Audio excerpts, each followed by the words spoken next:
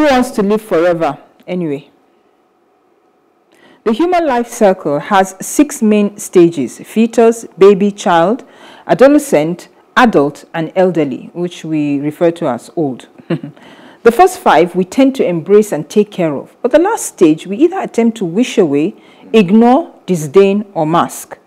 With a growing aging population, untimely deaths, and impaired living, conversations on growing a positive attitude to the inevitable dusk years is paramount. While we are somewhat relaxed while going through the other stages of life, we do not focus on investing in practices that will help tide us over in old age. It is when we have a health incident that we scramble to start living better to bribe old age. Just as inevitable as death is, so is old age. And while we cannot run from it, if we embrace it and work with it, it will be kinder to us. It is never too late to make positive changes, however we must acknowledge the limitations if we start later rather than earlier to work towards an enhanced old age. Recently, plastic surgery has become the bane of aging. From one facelift to the next liposuction to the lifting of sagging bits, we have geriatrics looking odd with sculpted bodies and faces and doing nothing for enhancing the quality of life. The goal is to use our productive years to prepare for age that will lead to a decrease of everything that we once took for granted. While it is taken for granted on this side of the Atlantic that our children will look after us, it is gradually becoming irresponsible to leave the comfort of your old age to your children. There's a place for that, but reality must be faced. Work, train your kids, make investments, save for your latter years. If the kids turn out right and support you, well, great. If they don't, well, great too you've provided for yourself. There's a thing called healthy aging, which refers to a reduction in the undesired effects of aging. The goals are maintaining physical and mental health, avoiding disorders, and remaining active and independent. Very important. For most people, maintaining general good health requires more effort as they age. Developing certain healthy habits can help, such as following a nutritious diet, exercising regularly, and staying mentally active. In this way, people can have some control over what happens to them as they age. Also, several factors influence life expectancy, and gaining knowledge is an added advantage. For example, you know, hereditary. What are those hereditary things? Influences whether a person will develop a disorder. Know the family history, lifestyle. Avoiding smoking, not abusing drugs and alcohol, maintaining a healthy weight, and diet and exercising help people function well and avoid disorders. Exposure to toxins in the environment, well, it's a challenge, but it can shorten life expectancy even among people with the best genetic makeup. Healthcare, regular checkups can prevent disorders or treating disorders after they are contracted helps increase life expectancy. Old age may have its limitations and challenges, but despite them, our latter years can be some of the most rewarding and fulfilling of our lives. Time to start being deliberate about taking care of you for you for the dusk of life. Fantastic, fantastic Comfort. So, let's go. mm-hmm. You know, I really love that topic. I'll tell you why. My wife always makes sure of I make, you know, friends with senior citizens. Mm-hmm. I have a lot of old friends, you know, 65, 70, 75 year old friends. Well, yeah, older friends. And one of the things I've learned about them is in their earlier years, the ones, I mean, and I have all kinds. I have the billionaires, I have the rich ones, I have the ones that are struggling a bit. I realized that most of them, the ones that are doing very well, they made decisions early in life. In their 30s, in their 40s, they thought about their 70s and 80s and said, you know what, I have to prepare for it. Mm. And they made those preparations, and it's paying off for them now. Mm-hmm. The ones that are not doing too well, well, a few of them, you know, life happened, but they didn't plan well enough. So it's very important to put that plan in, especially in your 30s and 40s. Very important to start putting those things in your mind because, like you said, it's like death. Yeah. It's going to come. Yeah. I mean, it's like people say, I mean, I personally, for instance, people say, oh, they have a child, they're looking for money. To, but you've had, you've been pregnant for nine months, mm. right? You know you're going to have a child in nine months. Mm. It's similar. Mm. You know you're going to be old. So you must prepare and start making plans to make your, you know, your old age more, you know, you know, you know, you know, I work within the private sector. I've always done. I've never worked within the public sector. So when I turned 40, my best friend called me. He works in the UK, and he said, "Kunle, we both turned 40 this year. He turned in October, I turned in December. So he said, you know what? we're going to start investing in stock and we're going to do this and it's money we're not touching. And I said, why? Bros, mm -hmm. who even told you I have money? I said, I kept part of some money for you and you add what you have. I'm going to invest in stocks and, and it's going to be for our pension.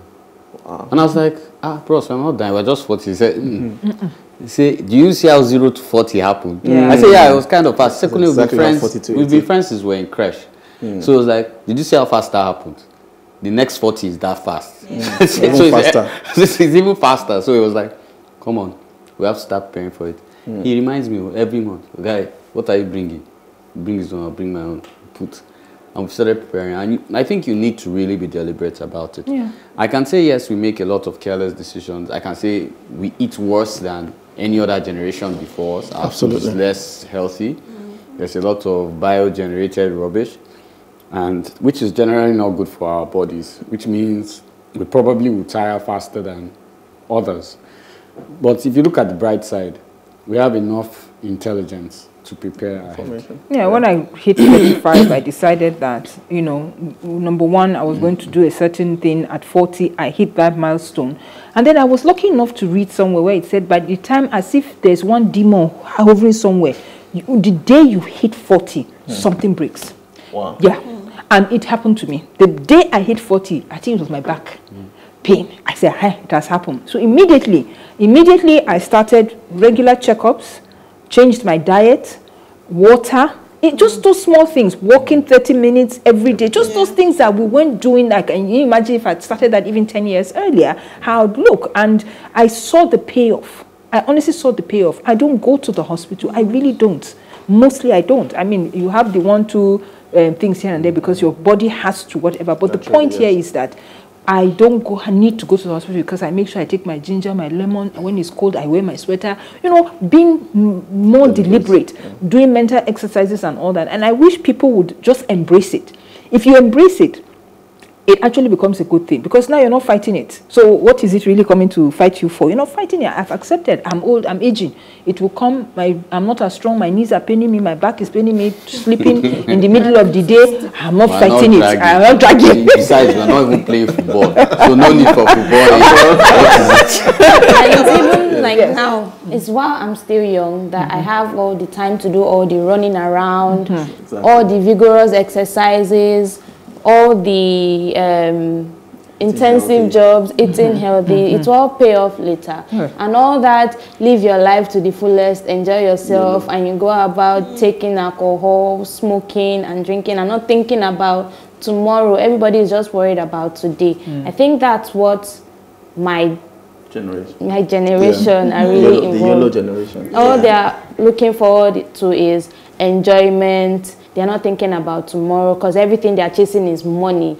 And you know, once you have money, mm. you're spending mm. on this, you're spending on that. And that's not the healthy way to live. Shall I say a little yes. bit about the issue of you know our African parents waiting for us to grow to give them money? Yes, yes, yes, yes, yes. Because talking about planning, it's very important that when you're in your 30s, 40s, and you have enough time to plan, you begin to plan for your future so that you don't begin to, you won't have to rely on your children. If they give you money, fine. But there is this um, entitlement mentality, not just with parents now, but with everybody. Like mm. some people just, even now, parents feel, I, I sent you to school, mm. I gave you everything, so it's time for you to give me back. But and, and fantastic topic, and at this you know rate, I'm glad that all of us are within the age bracket, you know, to actually consciously make changes. So I mean, ho hopefully we'll spread the uh, message, and that's the size of the show today. Join us again next week on another edition of The Advocate. Please don't just listen. Share The Advocate with family and friends. The more diverse thoughts we share, the richer the solutions they inspire. The advocacy continues on our social media platforms on Facebook, Plus TV Africa, hashtag the advocate NG, and Instagram at Plus TV Africa, hashtag the advocate NG. To catch up with previous broadcasts, go to plustvafrica.com forward slash the advocate ng. Don't forget to subscribe to our YouTube channel, Plus TV Africa. Bye for now. Okay.